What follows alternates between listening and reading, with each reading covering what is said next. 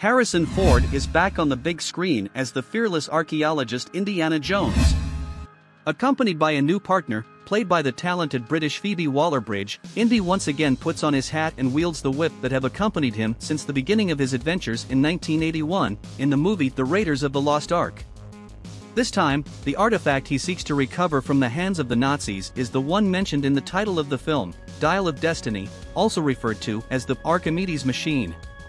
This artifact is based on a real object, an ancient Greek device discovered by archaeologists in 1900, called the Antikythera mechanism. But what exactly was the Antikythera mechanism anyway? What was it designed for? And what is its relation to the famous Greek mathematician mentioned in the movie?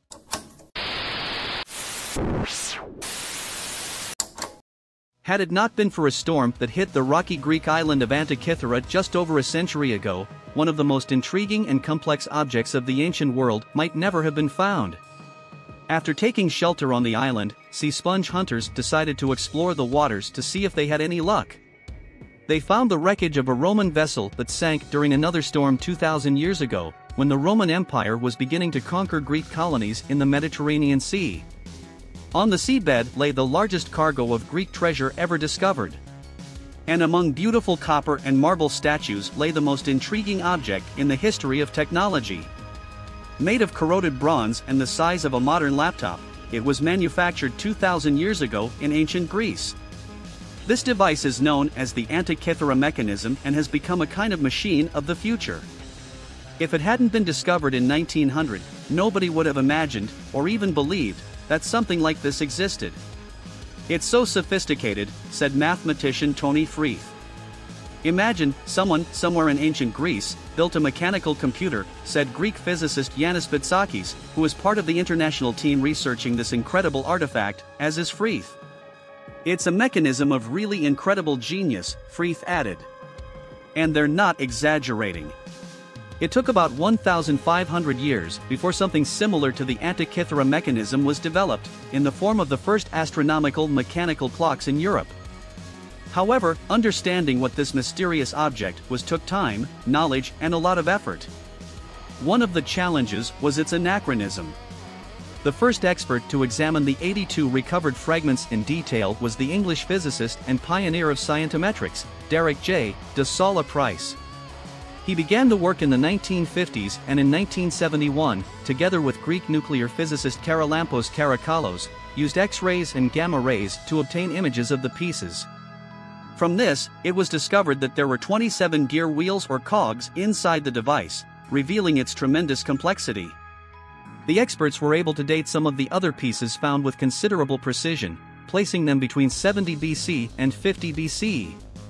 Price conjectured that counting the teeth of each gear could provide clues to the machine's operation. With the aid of two-dimensional images, the wheels overlapped, which made the task difficult. However, he was able to identify two numbers, 127 and 235.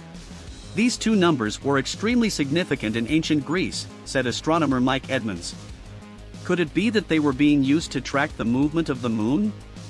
The idea was so revolutionary and advanced that Price even questioned the object's authenticity.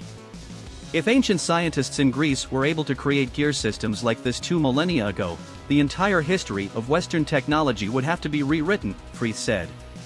Greece two millennia ago was one of the most creative cultures that ever existed, and their greatness in development in all fields, including astronomy, then considered a branch of mathematics, was not questioned. They understood the movements of celestial bodies in space, were able to calculate the distances between them and knew the geometry of the orbits of these celestial bodies. However, would they be able to use complex concepts of astronomy and mathematics to program a device to track the movement of the moon? The number 235 found by Price was the key to the mechanism for calculating lunar cycles. The Greeks knew that there was an average of 29.5 days between one new moon and the next. But this created a problem for the calendar of 12 months in the year, because 12 times 29.5 results in 354 days, that is, 11 days less than necessary, explained Alexander Jones, historian of ancient astronomy. The seasons and the calendar would be out of sync. However, the Greeks were also aware that 19 solar years almost correspond to 235 lunar months, a cycle known as metonic.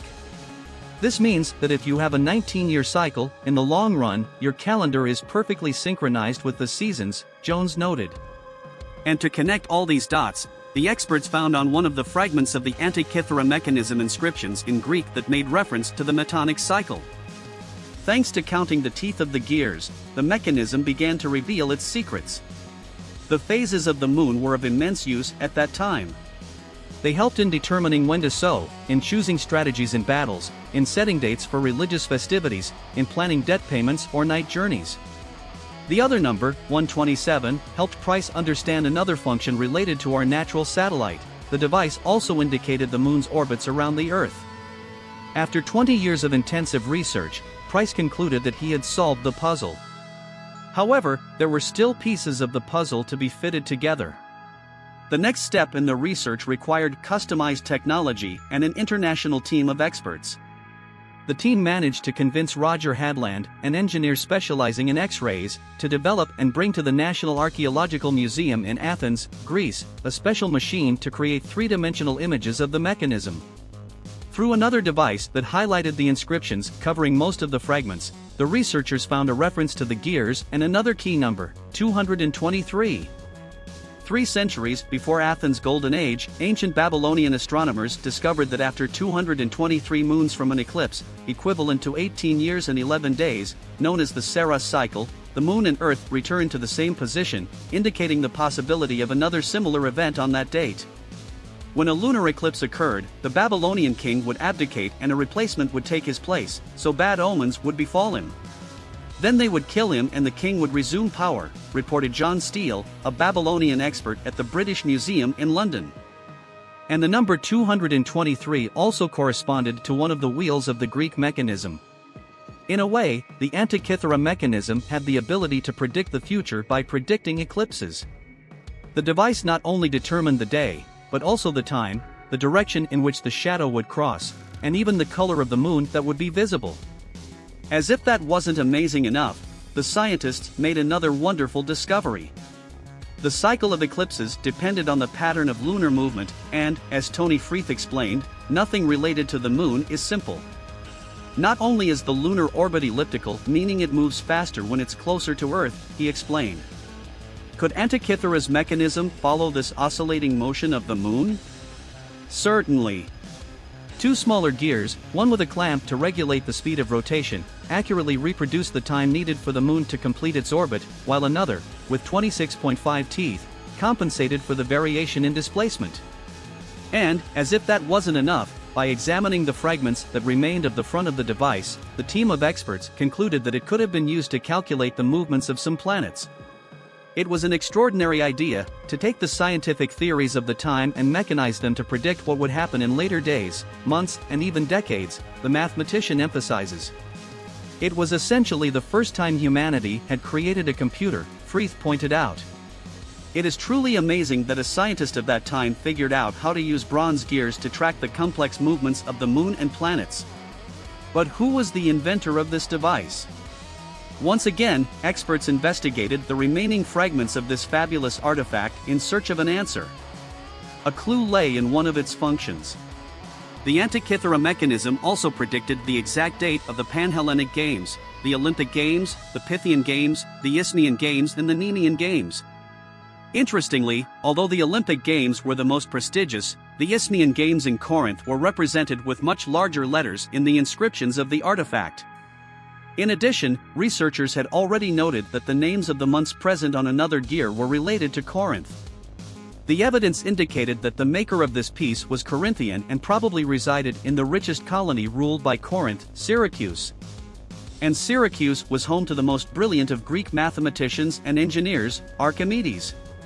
It was perhaps the work of the most important scientist of classical antiquity, the man who determined the distance to the moon, discovered how to calculate the volume of a sphere, described the fundamental number pi and claimed that with a lever he could move the world. Only a mathematician as brilliant as Archimedes could have designed the Antikythera mechanism, opined Tony Freeth. The truth is that Archimedes was in Syracuse when the Romans arrived to conquer it. He was killed by a Roman soldier, although the general Marcus Claudius Marcellus ordered him not to be killed. Syracuse was eventually sacked and its treasures were sent to Rome. General Marcellus took with him only two pieces, both by Archimedes. The research team believes that these pieces were older versions of the mechanism. A clue lies in the description by the noted orator Cicero of one of the Archimedean machines he saw in the house of General Marcellus' grandson. Archimedes found a way to accurately represent in a single device the varied and distinct movements of the five planets, with their different speeds, so that the same eclipse would occur both in the apparatus and in reality, Cicero said. But what happened to the brilliant Greek technology that gave birth to the first computer? Why was it not developed further? Why did it end up lost? Like many things, with the fall of the Greeks and later the Romans, knowledge migrated to the east, where it was preserved for a time by the Byzantines and later passed on to Arab scholars. The second oldest known bronze contraption dates from the 5th century and bears inscriptions in Arabic. In the 13th century, the Moors reintroduced this knowledge to Europe. Earlier investigations established that the mechanism was housed in a wooden box, which has not stood the test of time. A box that brought together all the knowledge of the world, time, space, and the universe. It is somewhat intimidating to realize that just before the fall of a great civilization, the ancient Greeks came so close to our era, not only in terms of thinking, but also in scientific technology, concluded Derek J. de Solla Price.